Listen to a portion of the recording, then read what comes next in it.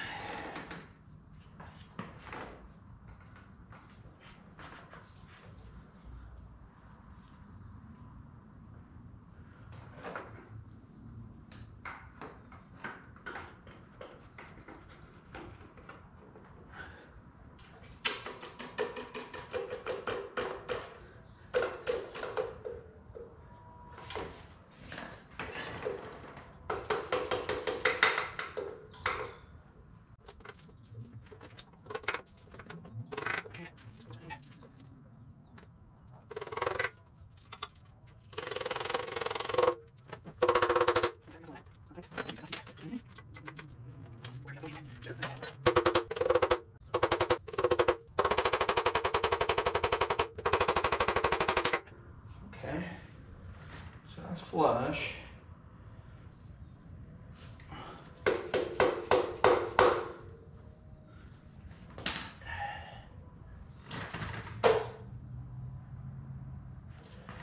Legit. You're supposed to tighten the clutch side. Supposed to hold this nut in from the back so it doesn't jam in there sideways. Um, supposed to be six to eight foot pounds, which seems reasonable for this bolt. Okay, and that's torqued on there. Now it says to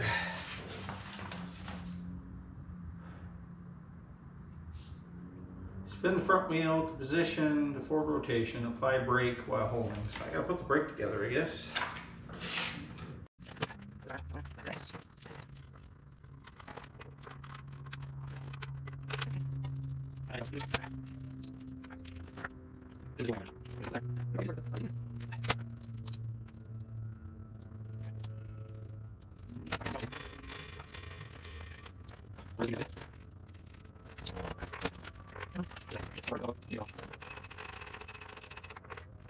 It says spin front wheel and forward rotation. Apply brake and while holding brake, torque the axle nut to 34 to 80 newton meters or 25 to 60 foot pound. That is a huge torque range. 25 to 60? Okay. Well, 40? I guess. I don't know.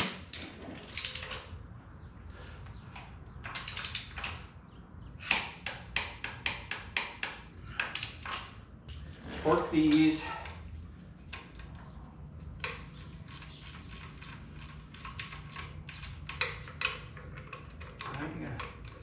You're supposed to get a torque wrench on these. Put that on there. Take that off just to torque it. Looks like you might have to. Great design. Well, my torque wrench will fit in there. Oh no. That's a great design. I like it.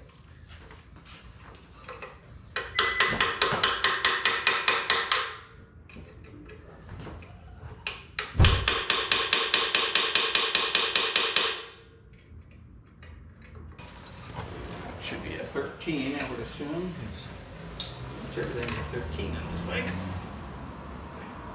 Hey, it didn't break. Well, that's something, I guess.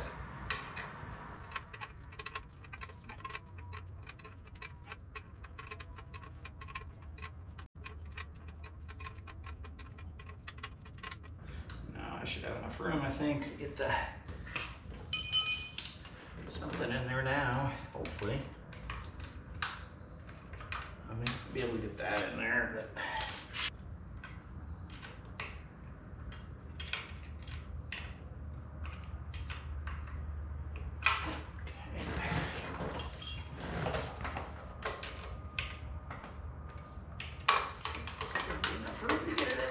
know, even with that in there, there isn't enough room because that stupid thing, well, that's just a great design. I mean, I don't know how you would ever get a torque wrench in there. So that's just excellent.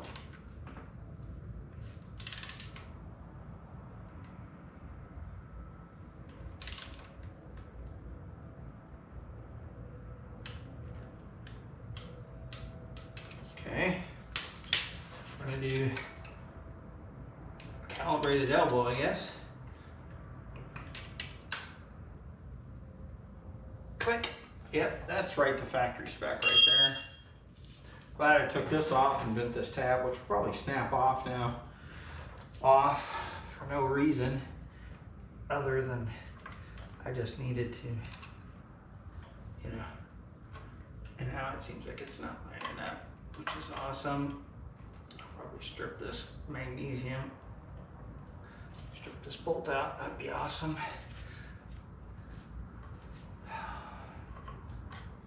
I'm gonna undo it up here because I really, really don't want to strip this hub out.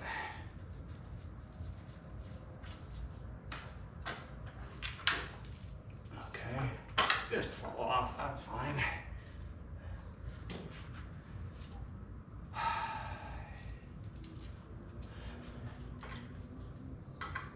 Probably gonna regret taking this off because I'll probably strip it. And then when I, once it's stripped, then I'm hosed fun stuff. I want this to go down into the brakes.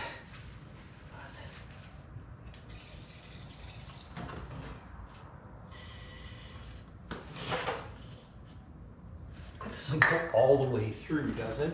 If it did, I just sprayed WD-40 on my brake.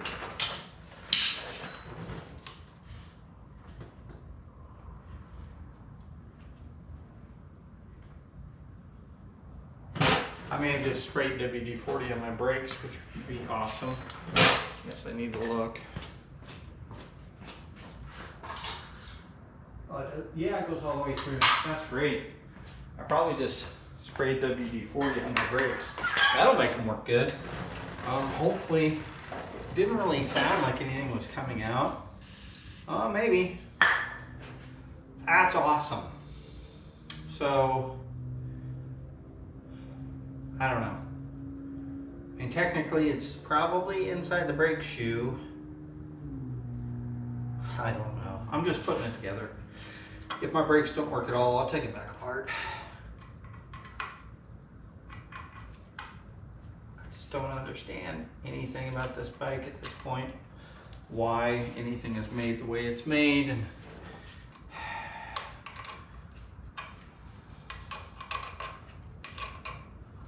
like, why would you have a bolt that goes all the way through the brake hub? I, I don't understand.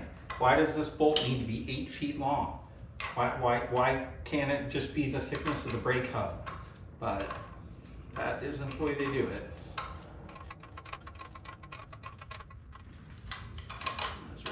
Put that in there too. Yeah, that was great. I just, I can't believe I used WD-40 and basically sprayed it directly into my brakes. That's just the way it goes for me. Then I'm gonna be like, my brakes don't work at all. I wonder why. All right, that's tight enough because I can't seem to get it any tighter.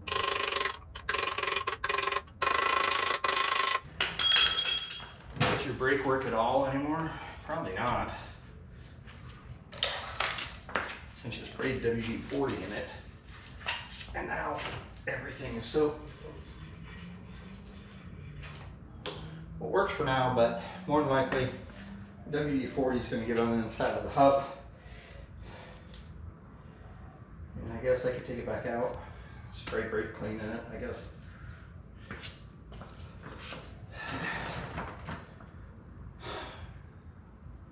Outsmart. Mechanic of the Year. I'd like to thank MMI. No, I didn't ever go there. And when you're doing anything with a bike that you've never worked on before, everything is an adventure because you've never worked on it. And it's so much easier once you know a bike. These little things that you learn about, you make so many more mistakes when you're working on the bike for the first time. So I'm just gonna pound this off again, probably break this tab off. This guy's a thinker. Yeah, not so much sometimes. Not so much.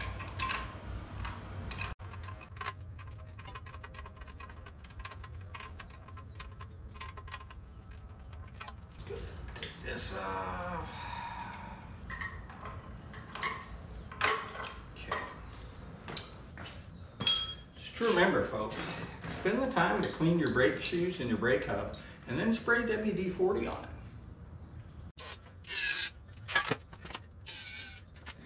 So hopefully that's cleaning it out. I don't know.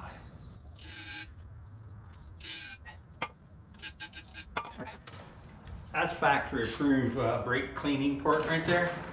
Uh, it, it says right in the manual. Go ahead, if you want to clean your brakes, just go ahead and use this port. That's what that's for. Not really that much, but uh, some stuff came out, which is weird because I literally just cleaned it all. It's probably stuff that was on the back of this. Maybe that WD-40 didn't even go in there and then I just blasted it in there. Who knows at this point? But I did what I did. And, you know, that's what I did. So.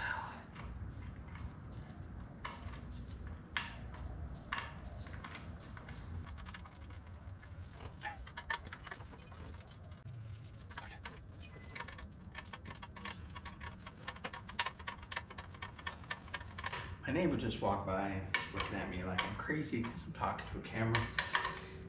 You know, that's fine. Make your neighbors think you're a bit nuts. They give you more respect that way. They're gonna be quieter. They're, not gonna walk in your lawn. Because uh, they're gonna be like, that guy, he's a little touched. Let's just admit it. If, if you're a motocross rider, you kind of are a bit touched. We're all a bit touched. Uh, for sure we are. That looks good. So we're torque, torqued, torque, torque, torque, tightened. We're gonna call that good. Hopefully the wheel still spins. Sounds terrible. What's the old wheel bearing feel like? Um,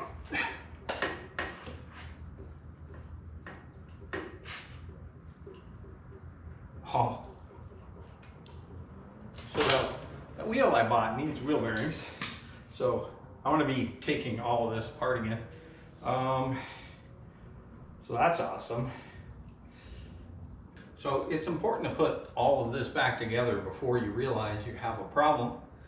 Um, the good news is, since you're going to be taking the front wheel back apart, you can clean the brakes and make sure that the WD-40 that you sprayed in there, bending this tab back and forth 14 times is going to ensure that it's going to snap off the next time you try to do it.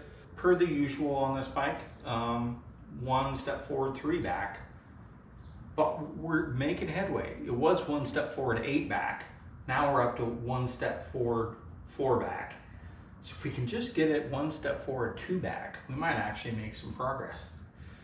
We're gonna take the wheel bearing out of this, and according to the, the thing, it says heat inside bearing boss with the butane torch. The MX6 front wheel, which this is, magnesium hub. Magnesium must be heated with great care, great care, uh, to avoid personal injury. The reason that is, is uh, magnesium is actually flammable if you get it hot enough. It can burn and it's really hard to put out. Um, use a torch with a large soft flame, butane, heat boss, four to five rapid circle passes. Always wear safety glasses. Okay, well I got MAP gas. It's probably a little hotter than regular standard gas, but they're saying four or five passes. So I'm doing this on the old broken hub Because if I mess it up, I'd rather mess this one up than mess up the one that I want to make sure that I don't mess up, just to know how easy it, it, it comes out. I'm gonna do it. One, two, three, four, five. Okay, that was five. I don't know if that was hot enough to do anything. There's only one way to find out.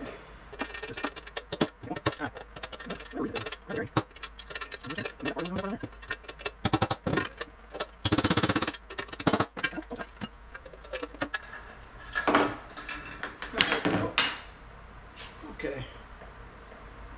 6203. Made in Canada. Canada. Can, can, can, can, Canada? This is Terrence's bearing. Um, so there is a difference. This one's a 6303 ZZ3. Now I did not buy this bearing. I got it with another vintage bike that I bought. It was in like a bunch of extra stuff. It says rear, so this is obviously the rear for our RM400. But the ZZ03 is metal dust cover on both sides. Very fancy. Um, where the stock one has only got a dust cover, cheap plastic on one side and it's open on the inside. Um, but yeah, that looks like the same bearing to me. Well, I guess let's try it with the real deal and see if we can ruin that. Hopefully we don't, but let's try it like we did the other one. Hope we don't break this rim because this this hub because this would really suck.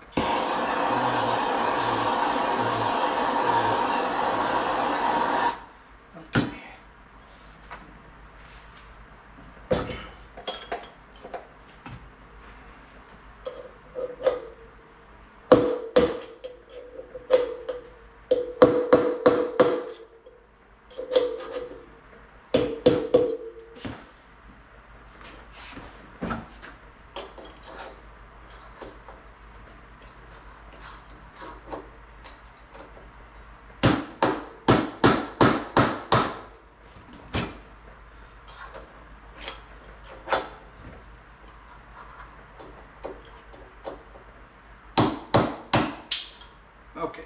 Okay, that's out. Mmm, yummy.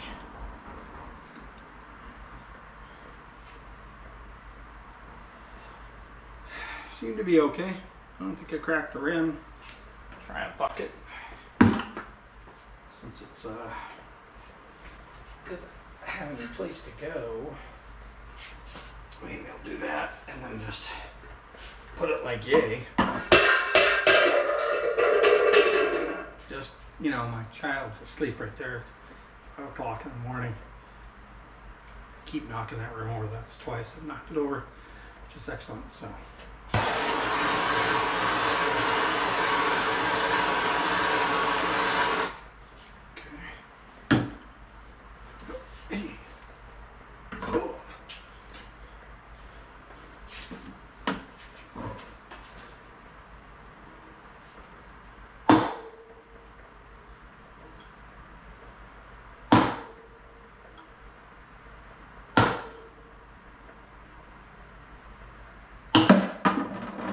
and she's out. Now with these bearings, it doesn't matter which way you put it in because it's sealed on both sides, but if you have the old school bearings that's only sealed on one side, you want to make sure the sealed side is facing out. Uh, this is a better bearing because mud and stuff can't get into it nearly as easy. Just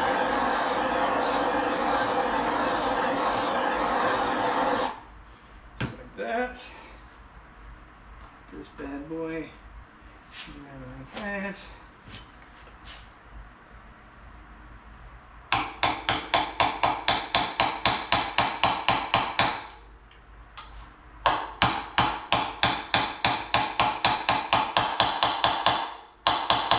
Hear that change in difference. I hope there wasn't supposed to be a height, but um, seems to be all the way in. That's where it's going. What you want to do before you go put the other wheel bearing in is you want to make sure you put the sleeve in because if you don't, that's bad day. I don't think there's a way it should go in either way, it looks like. Either direction is fine.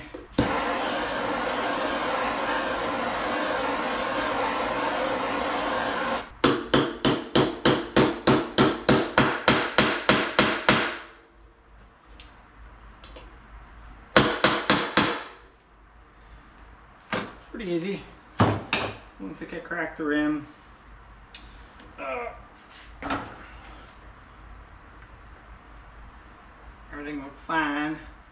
I can clean this hub up again in case there was any WD-40 in there from my little accident putting it together last time. Hmm. These uh, spokes, they aren't very tight. I'm gonna spray them all and hopefully they're not rusted solid. Probably should have did that before I put the tire on and I didn't really check them to be honest. So, you know, that's what you get. But it would have been smarter to, before I put taped it and put the tire on, to hit it with penetrating oil from the inside all the way around. Make sure these are all loosened up because they look a little crusty. Hopefully I can get them broke loose without stripping out the spoke nipples and tighten these spokes up because they're not what I would call super tight. They seem pretty consistently loose. Well, that one's tighter, but they're not super tight. So I don't know how tight you're supposed to do it with a magnesium hub, but I think it's supposed to be a little tighter than that.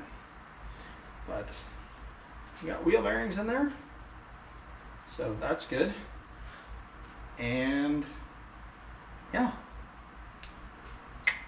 job complete.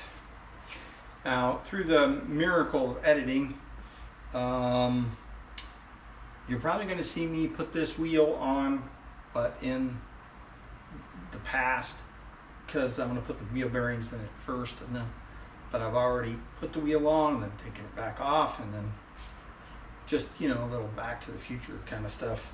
Um, but yes, uh, I'll show this first, and then I'll show you me putting the wheel on in the past, I guess. So hopefully all goes well and that works. And then see if I can get these spokes loosened up and tightened up. And then we're off to trying to figure out how we're gonna get the swing arm bushings for that. I'm gonna have to try to find a machinist in town and see if he can make me swing arm bushings because it doesn't seem like anyone has those sleeves that go inside the bushing. I haven't been able, I thought I had something that would work, but it turned out it was just a little bit too big, so, or too small. So I think I'm gonna have to bite the bullet and go see if I can find a machinist and see if he can uh, make me uh, sleeves and bushings. But that's in the future. Thanks for coming along.